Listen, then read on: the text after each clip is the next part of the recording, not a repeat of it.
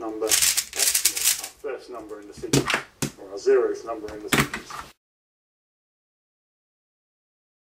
Some of them go on the floor, but what we end up with is this Gauss